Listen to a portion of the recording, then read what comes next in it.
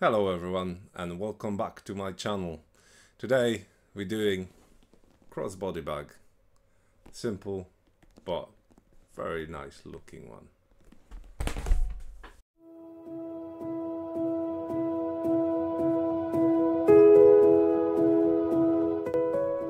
So let's start crafting it. You probably spotted already on my little intro. Um, we creating stuff on the new banner. qcrafted.com, that's what's gonna be called, is gonna be blog for leather workers and everyone who likes a bit of creativity. We're gonna transfer all our free patterns over there. There will be a little bit of a premium patterns as well. It's a new website, so there is not much content right now, but I'm working on it. Alright, enough info, let's go back to crafting. Uh, let's cut out the pattern. I use rotary cutter. I've got brand new rotary cutter uh, from Hemline Gold. It's a good tool and nice looking one as well, but you need to buy some premium blades for it because the one which is included with the knife it needs to be replaced as soon as possible. My favorite part as usual, cutting corners. I will show you two techniques today uh, where you can cut the corner with punching tool or you can use rotary cutter to cut it out.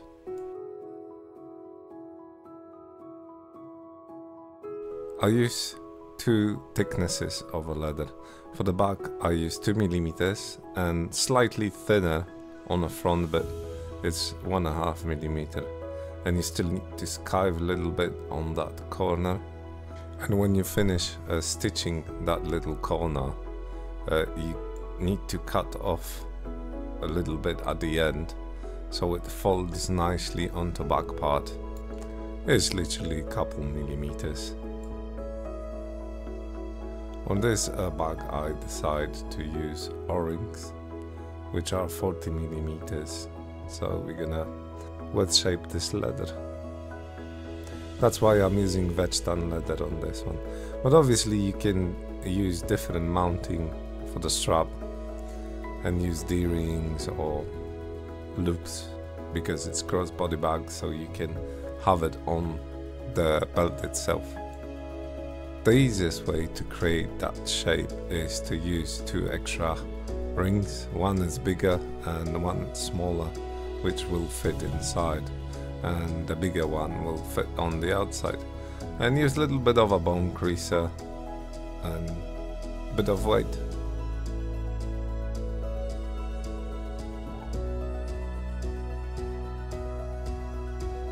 So when it dries out you can use a punching tool to create the shape around it. Or you can actually use compass tool as well then use rotary cutter to cut it out.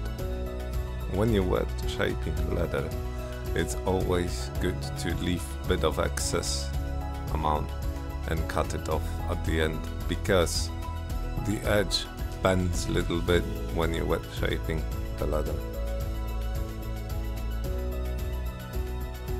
If you enjoyed this video please like and if you want to see more content like this subscribe to our channel. It's a good time to crease the edges and we can start making holes for the stitching lines.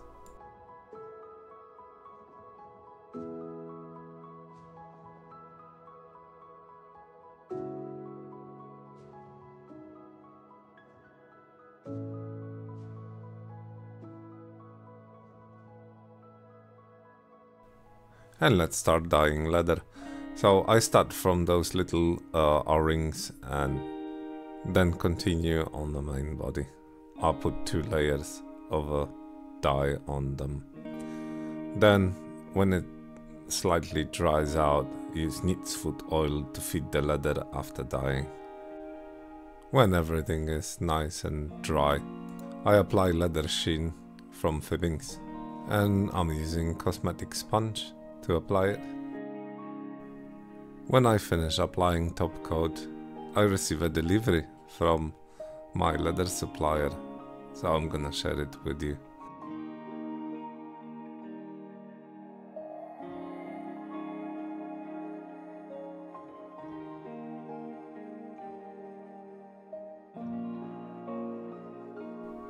Look how well this company packed their product. Always when I receive a package from them I feel like little kid unpacking a candy.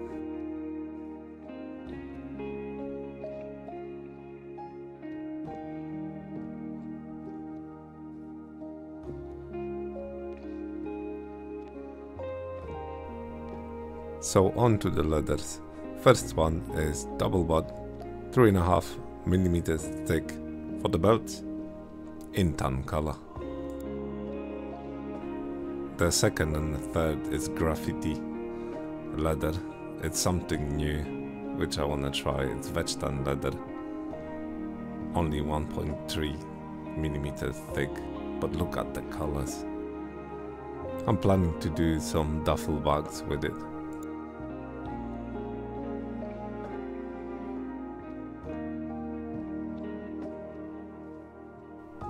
And the sponless beast at the end is a cherry on top of a cake. It's shell cordovan leather. Very pristine and very expensive as well.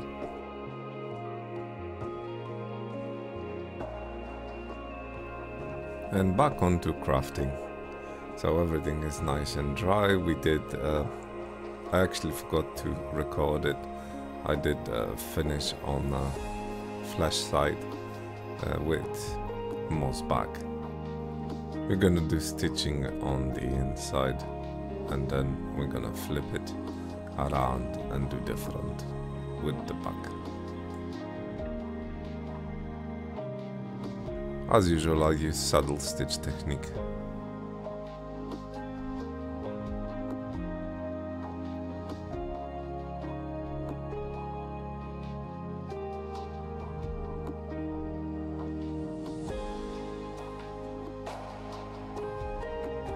After stitching those corners, flip it around and check if all the measurements are right.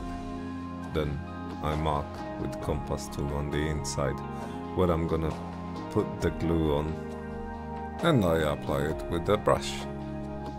I know there is better ways to do it, but I don't do it very often, so I use brush.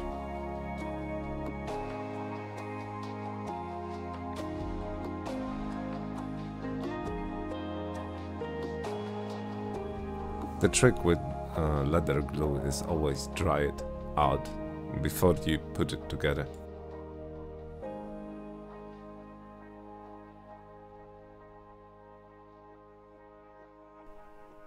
When you let uh, the glue dry out, look how easy it comes together.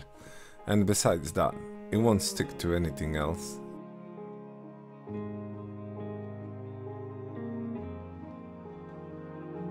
After everything is uh, glued together, I'll put a couple clumps, just in case, uh, especially in the corners, and let it stick for about 10 minutes. And now use compass tool to mark the stitching lines. I'll stitch it off camera. Um, I've got new machine but it's standing in the kitchen at the moment and it's a bit of a hassle to record it over there. It's good to stuff the bag out and use the bone creaser for the corners so you got that desirable shape. So the main bag is ready. Now it's time to fit in the lock and stitch in the o-rings at the back. I leave it with stuffing inside for a couple hours.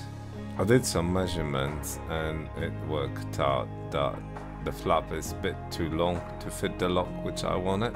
But don't worry about it, I changed the pattern before I release it.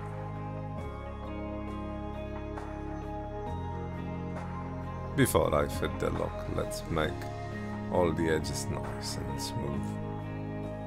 We crease it first, then we're gonna use some sandpaper and at the end we're gonna add Tokonole to it and polish it.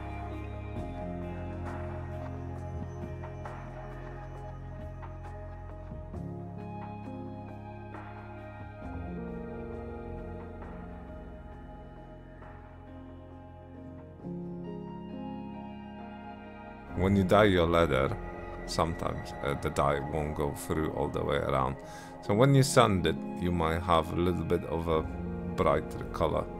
So I re-dye the edges again. And as usual, apply Tokonole. I always use it for all my products, and you know that from my other videos.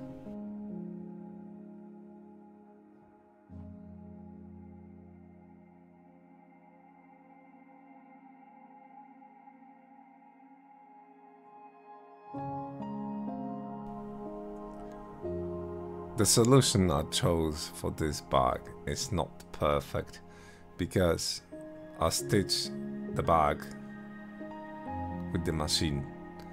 So now I need to do hand stitching for the o-rings.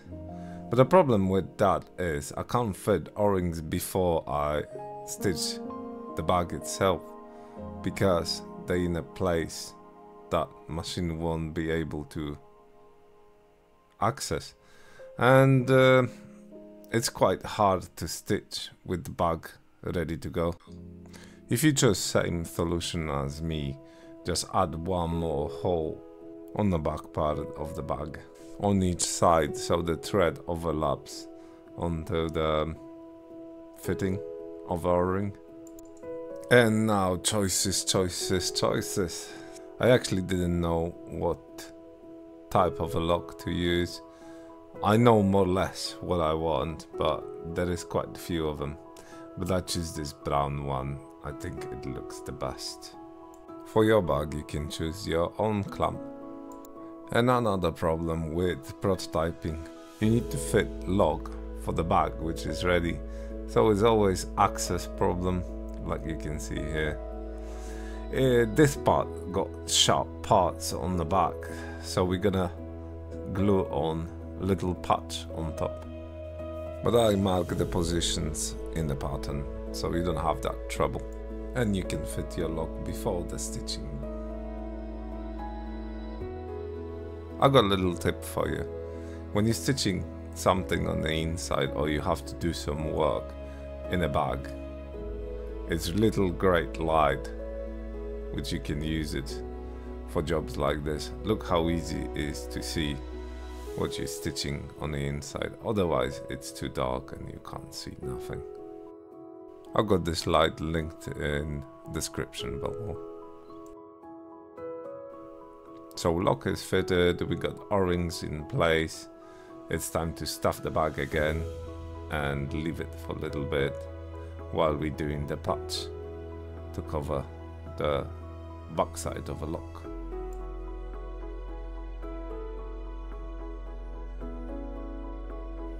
Usually when I do patches like this, I run the corners so you don't catch it and take it off and skive the edges so the edge is really small and you can't catch it as well.